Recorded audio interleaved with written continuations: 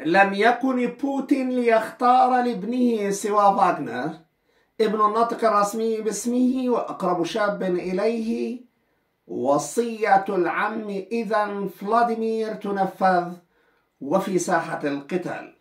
ابن بيسكوف يقاتل إلى جانب طباخ بوتين. فالناطق الرسمي والطباخ كلاهما حاليا في شركة واحدة حولت مدينة بكاملها إلى حقل قتال روسي ضد الأوكران. فيما يحاول الأمريكيون صناعة مسار آخر لنورنبرغ.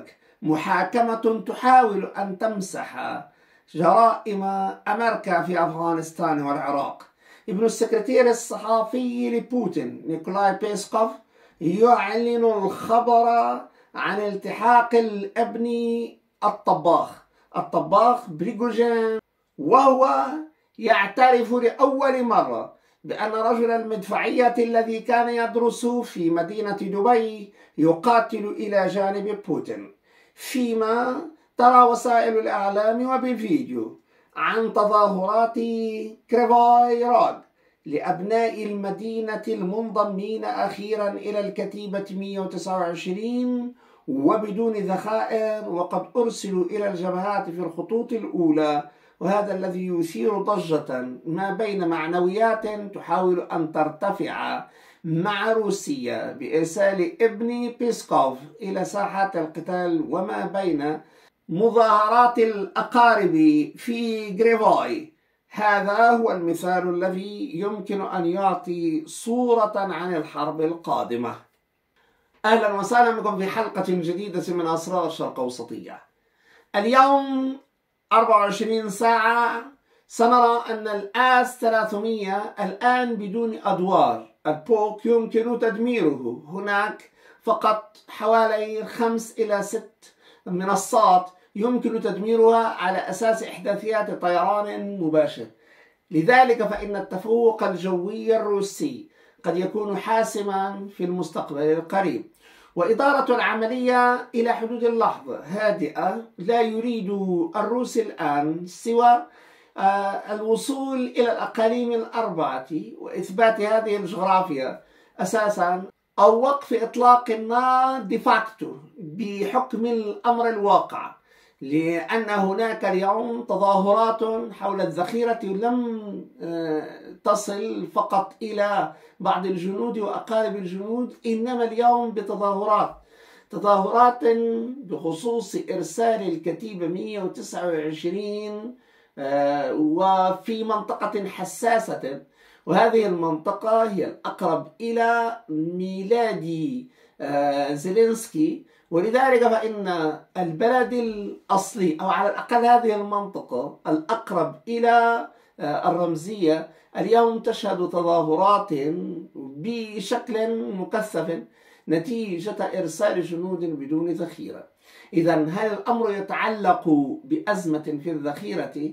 هذا هو المؤكد لأن آه، هناك صعوبة اليوم في إيجاد حل سياسي ولكن هناك إيجاد الحل الواقعي. الوصول إلى معرفة موازين القوى بالأساس وكيف تسير الأمور. عندما نرى وزير الدفاع الآن الأمريكي وهو يتحدث بشكل واضح عن المساعدة العاجلة وعن المزيد من المساعدة كل برودة على صعيد أو على الأقل عدم تسخين الجبهات بين أوكرانيا وروسيا هذا ناتج عن مهلة تعطى من أجل تصنيع إضافي للذخيرة من الطرفين. ولذلك الكل يستعد لجولة قادمة أو على الأقل ضربة من هنا أو هناك. من جهتين نحن نتحدث بشكل تقني. آه، هناك عملية على الأقل أصبحت الآن عملية آه، في كل عشرة أيام 11 يوم نجد أن الذخيرة استوفت من أجل القيام بضربة كالتي حدثت ضد كييف مرارا آه، مع آه، حوالي 11 يوم هكذا.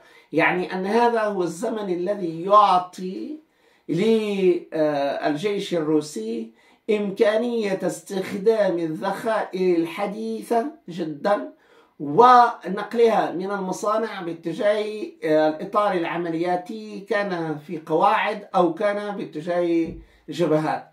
لذلك فإن اليوم إن آه، وصل ما يسمى بالزمن التصنيعي للضربة الجوية إلى حدود تسعة أيام فإن اليوم هناك إمكانية لجعل الضربة مزدوجة. آه، فهناك إمكانية لإرسال آه، قنابل بحدود جولتين في مرة واحدة.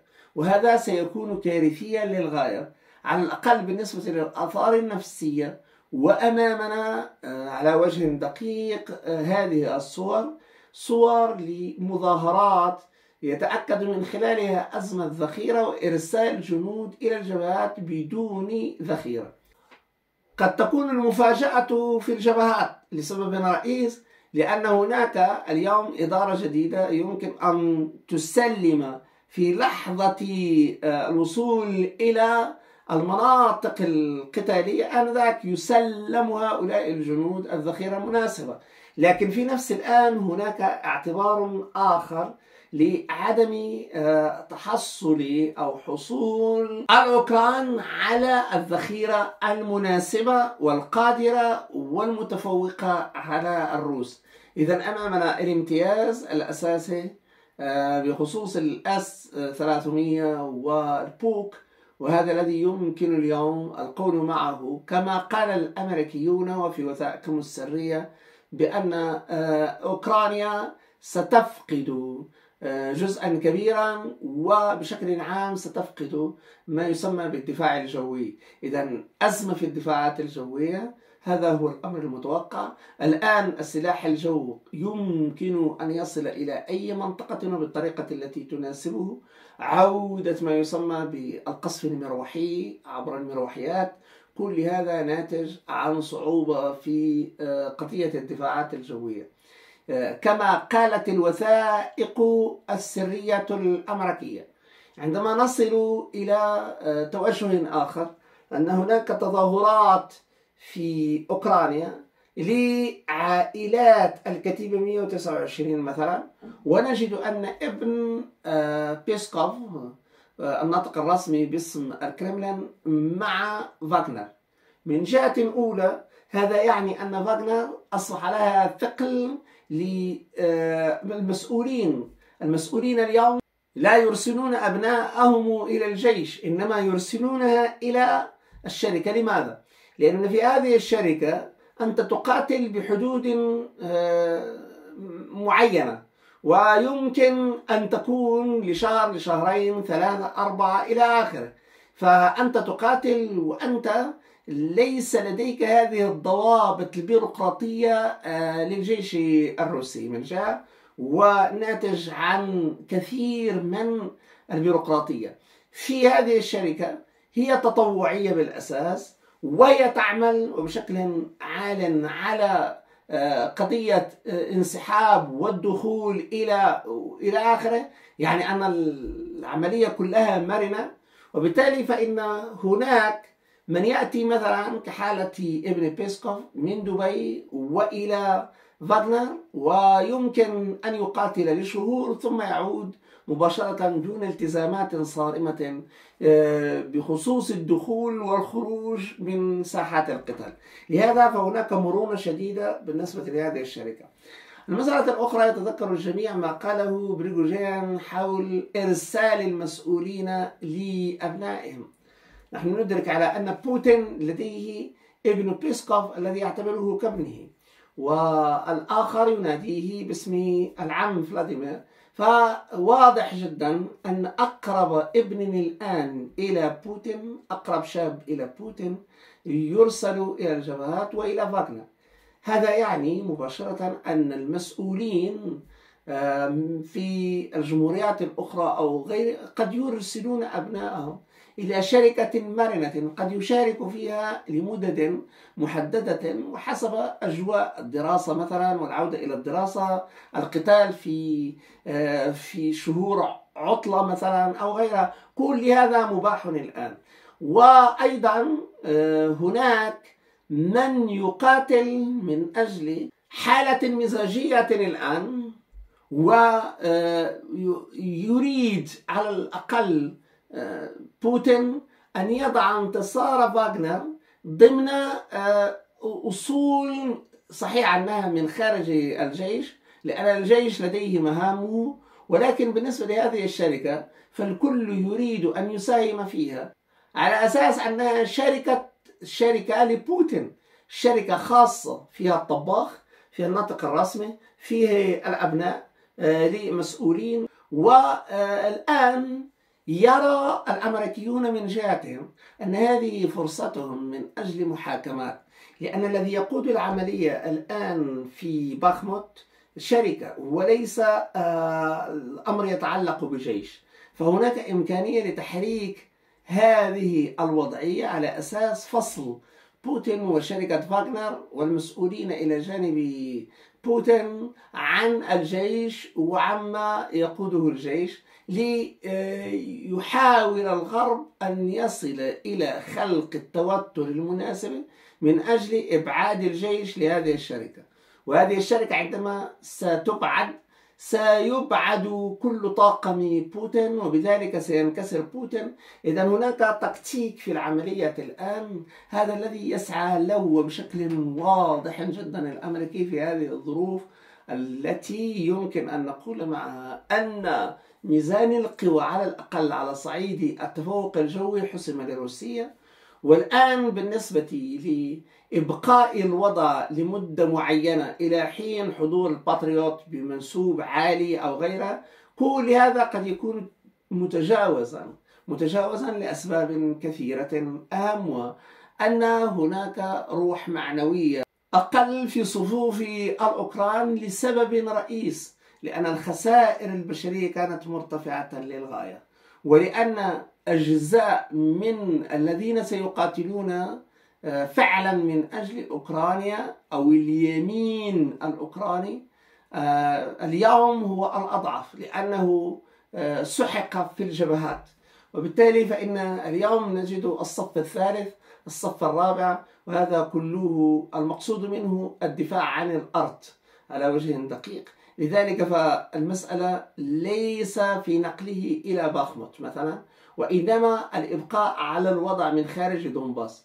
فيمكن أن يقاتل الأوكراني من خارج دونباس أي في المناطق الخالصة لأوكرانيا بالشكل الذي يختلف عن دونباس المتحدث بشكل كبير جدا بالروسية وبغيرها وأمام إشكال لم يقم الآن أو في 2022 إنما من 2014 ومشكلة أساسا دونباس بحكم ذاتي بغيره. كل هذا مع تأطير مينسك واتفاقيات مينسك كل هذا معلوم. لذلك فالمسألة اليوم مسألة مختلف فيها والشعب الأوكراني أمام خسائر قوية للغاية بالنسبة للجيش وباقي التنظيمات المسلحة لأوكرانيا. يصعب الآن أن نتحدث عن آه، روح معنوية بنفس التقدير الذي كان يعمل عليه.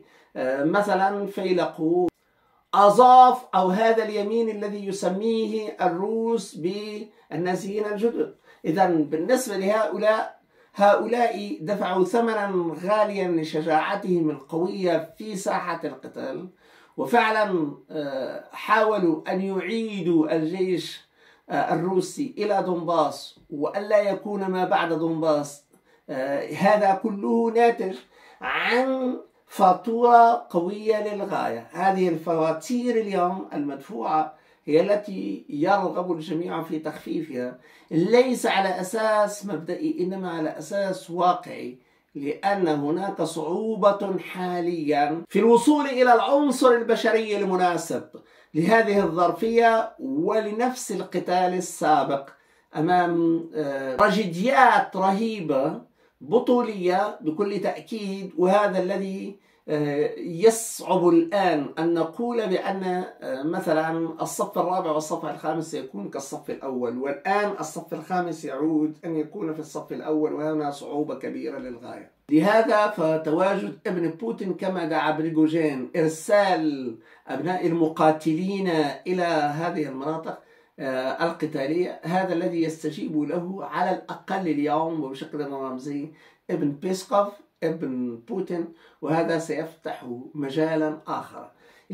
آه، أولا العمل في داخل فاغنر والعمل داخل فاغنر لا يساوي فقط العمل في باخموت.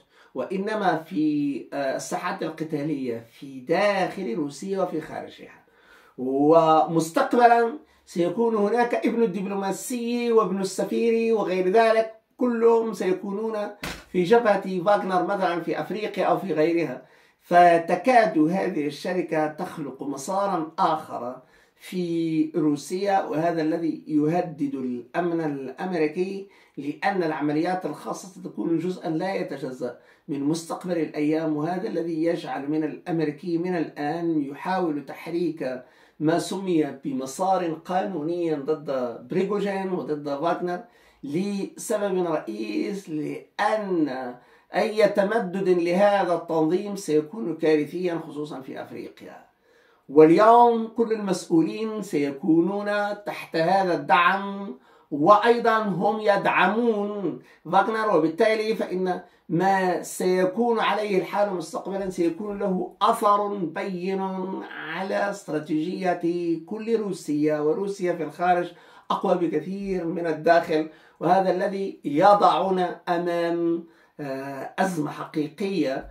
في آه، قضية فاغنر هل فاغنر اليوم ليست إلا امتدادا لطموحات بوتين وللعناصر القريبة منه والجيش وللدولة الروسية؟ وهنا القتال اليوم قتال حول استراتيجية شخص وقائد وزعيم اسمه بوتين. وهنا تبدأ الخسارة الأمريكية لأن الأمريكيون يقاتلون على أساس المؤسسة.